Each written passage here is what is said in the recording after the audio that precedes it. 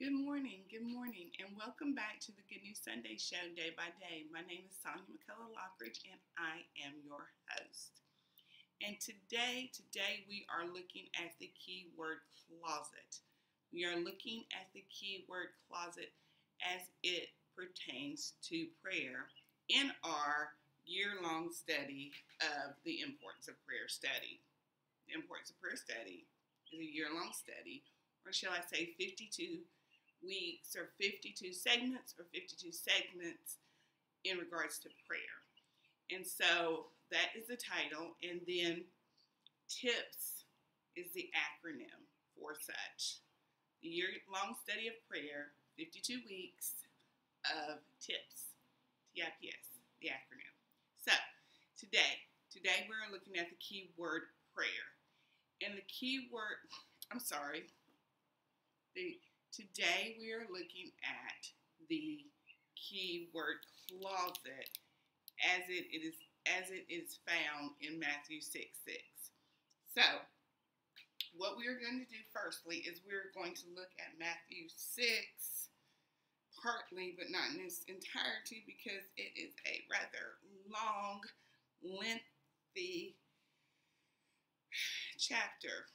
So looks like we're having some problems with our light.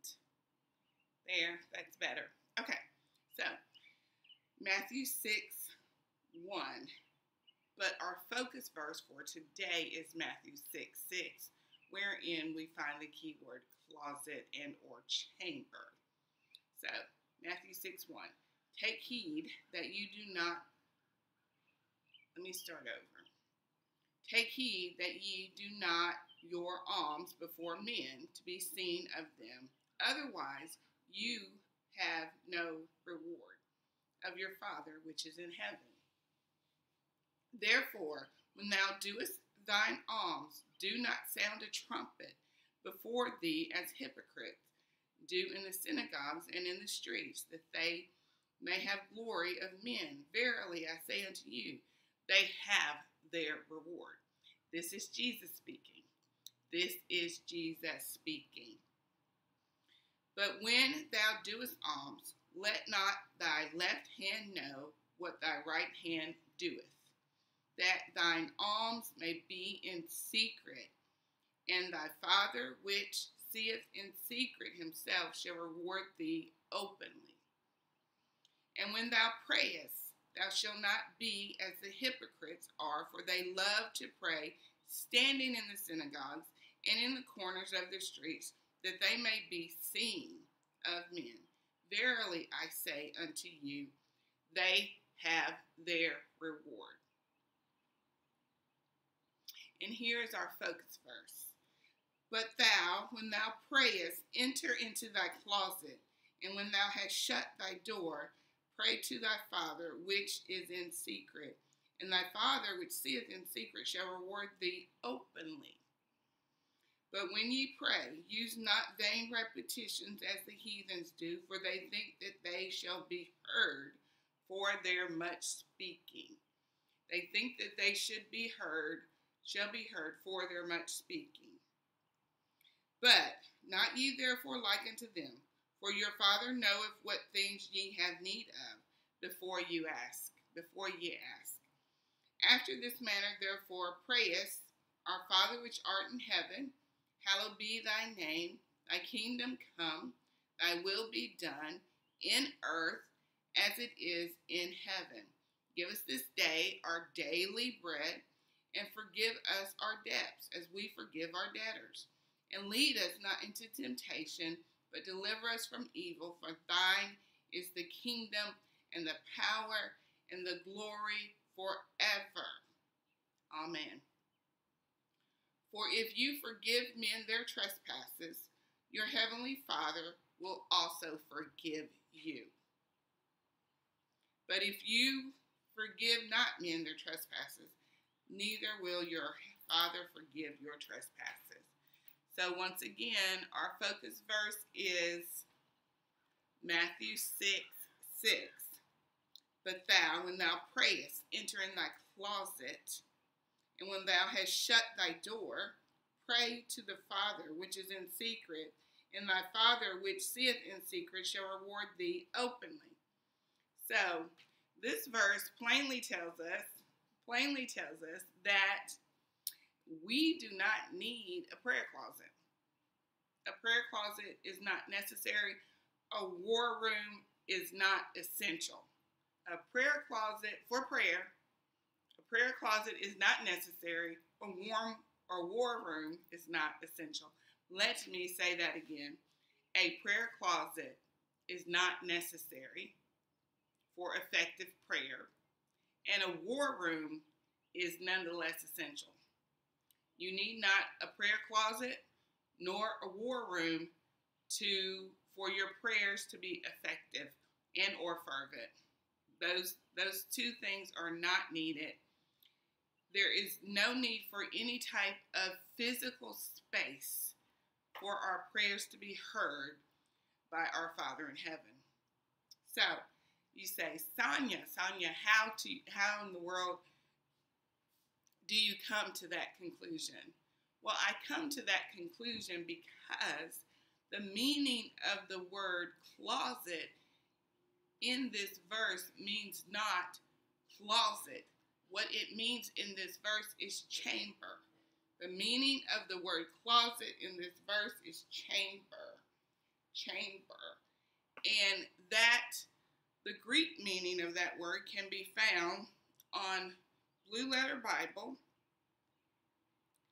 And it is Greek, and we can we can take a listen. Let's listen. I think I turned him off. Strong's G five thousand nine. tameion. tameion. tameion.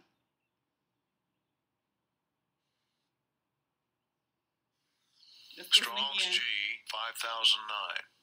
Tamayon. tameion. tameion. And what tameion means in the Greek is a dispenser, a dispensary, a dispenser is what it means in the Greek. So the point of tameion in the Greek is to distribute or to dispense things. So let me ask you, what other chamber do we know of that acts as a dispensary within the body of a believer? Well, that is the heart. There are, in our heart, there are upper and lower chambers. So it is a heart position. Prayer is a heart position, it is a posture of our heart. This chamber that Jesus is speaking of in 6 6, Matthew 6 6, is not a physical closet, but the chamber of our heart. and with that, that ver- that that keyword chamber or closet can be found three other times in the text, wherein it also means chamber. So that is what the key word closet means in the sixth chapter of the book of Matthew. No, I'm sorry, in Matthew 6 6. Matthew 6 6. So, derivative of a dispenser or distributor. And the heart is a chamber that distributes blood flow throughout the body.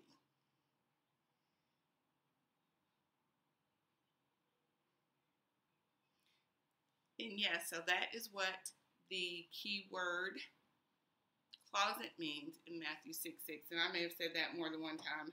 And we can look to Vine's.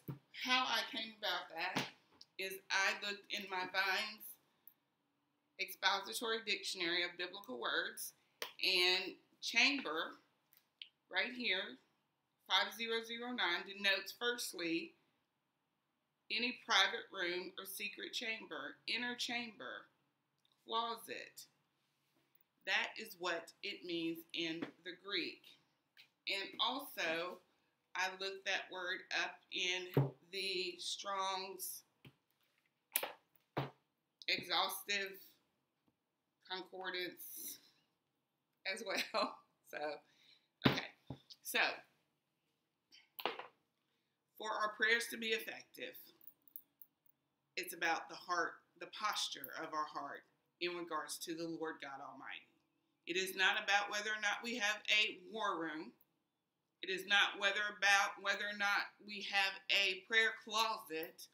It is not about a designated physical space, but it's more in regards to a spiritual position of the heart.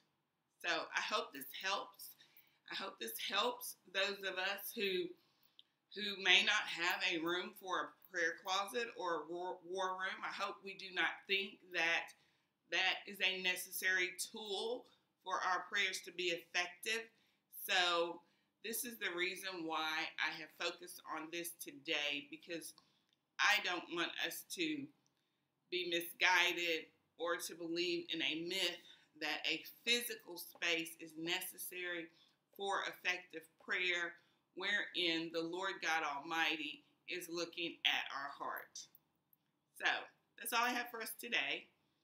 And this is Sonia McCullough Locker signing out for the Good News Sunday show day by day. And it's like I always say, we still have time. We still have time as long as we have the breath of life pumping our bodies, pumping through our bodies, and the interest and the accurate, we still have time to align this our one life with the holy and mighty word of God. We still have time.